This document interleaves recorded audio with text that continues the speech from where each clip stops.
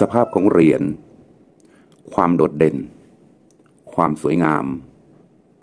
เป็นหัวใจหลักของเหรียญสะสม พี่น้องหลาย ๆ คน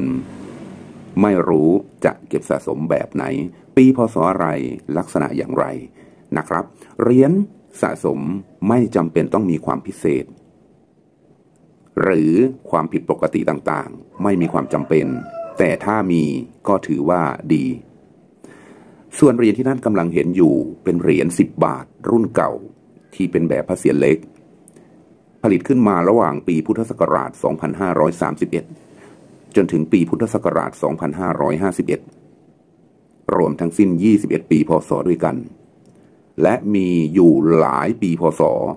แทบจะครึ่งหนึ่งของเหรียญที่ผลิตมา ถือได้ว่า มีราคาการประเมินที่สูงมากเลยทีเดียว ไม่ใช่มากธรรมดานะครับพี่น้อง การซื้อขายแลกเปลี่ยน ในตลาดนักสะสมที่เราเห็นตามเว็บเพจเว็บไซต์ต่างๆ นักเก็งกำไรเขานำเอามาจับกลุ่มแต่ละปีพศเพื่อที่จะแบ่งขายเป็นเหรียญสะสมให้กับนักสะสม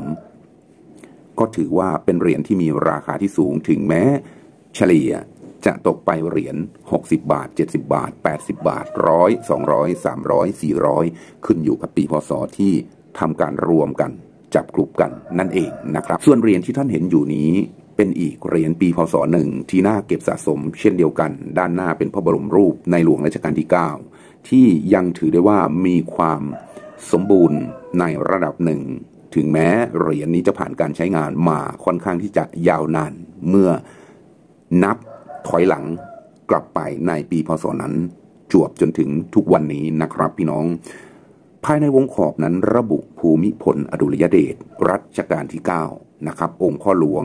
รอเก้าของเราเหรียญแต่ละรุ่นแต่ละปีพศถือได้ว่าน่าสะสมอย่างมากเลยทีเดียว วงขอบนะครับพี่น้องเรามาดูลักษณะหรือสภาพวงขอบกัน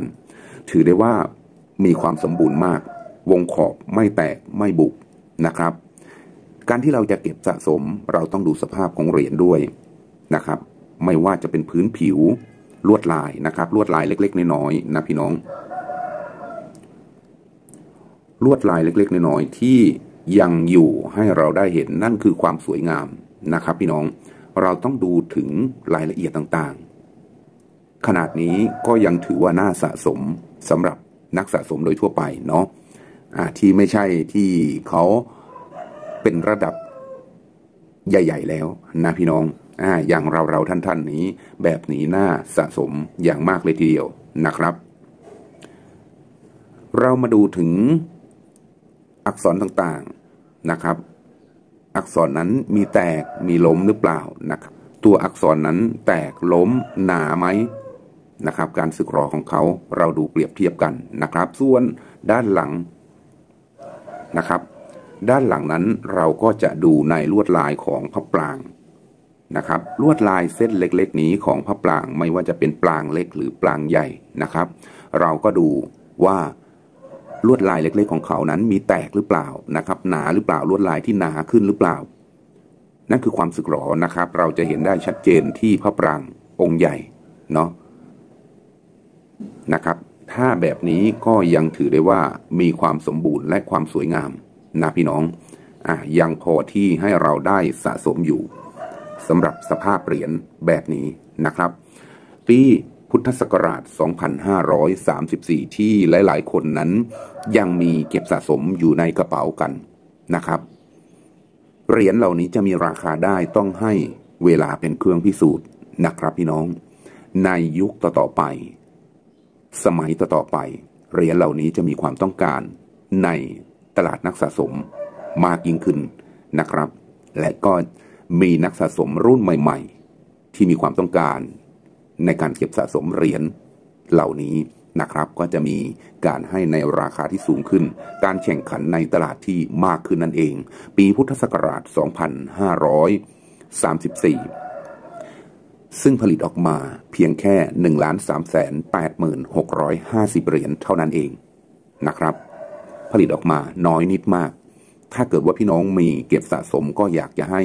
รักษาสภาพของเขาเอาไว้ให้ดีนะครับพี่น้องในวันข้างหน้าอาจจะเป็นเหรียญเหรียญหนึ่งนะครับ ที่เราคาดไม่ถึงว่าจะมีราคาหลักร้อยหลักพัน หลักหมื่น หลักแสนนะครับ มันเป็นไปได้หมดในโอกาสข้างหน้านะครับ ซึ่ง UNC นั้นเขาประเมินเอาไว้ที่ 550 บาท การซื้อขายโดยทั่วไปเราก็ยังเห็นอยู่ในราคา 80 90 100 200 บาทสำหรับเหรียญปีพศ 2534 นะครับ โดยทั่วไปตามเว็บเพจเว็บไซต์ต่างๆ เนาะแต่ถ้าเป็นเหรียญระดับ UNC ตัวนี้ก็ถือได้ว่ามีราคาที่สูงอย่างมากเลยทีเดียวสำหรับเหรียญ10 บาท ปีพศนี้นะครับ พี่น้องก็ให้พี่น้องหาข้อมูลนะครับ เราจะเก็บสะสมปีพศไหน ลักษณะเหรียญเป็นอย่างไรนะครับ ยอดการผลิตเป็นอย่างไรเนาะะถ้าเกิดว่าใครไม่ซีเรียสนะครับ ไม่ซีเรียสเรื่องอาราคานะครับ แต่ละรุ่นแต่ละปีพศก็ถือว่าเป็นเหรียญที่น่าเก็บสะสมอย่างมากเลยทีเดียวสำหรับเหรียญ10 บาท มีความสวยงาม มีลวดลายที่ชัดเจนนะครับ พี่น้อง นี่คือลักษณะของเหรียญ10 บาท ที่เราได้เอามารีวิวฝาก ข้อมูลให้กับพี่ๆน้องๆลุงป้าอาที่ติดต่อสอบถามเข้ามาเยอะมากเลยทีเดียว ปีพศ 2534 ทางช่องของเรา ก็มีความต้องการเช่นเดียวกันนะครับ ราคาขึ้นอยู่กับสภาพนะครับ พี่น้องแม็กสุดราคาแม็กสุดอยู่ที่ 150 บาทต่อเหรียญนนะครับ นั่นคือราคาที่เราตั้งเอาไว้ให้สูงสุดนะครับ 150 บาทต่อเหรียญปีพุทธศักราช 2534 นะครับ ส่วนที่จะได้ในราคาแม็กหรือเปล่า ขึ้นอยู่กับสภาพของเหรียญพี่พี่น้องๆนะครับพี่น้องเอาล่ะสำหรับคลิปนี้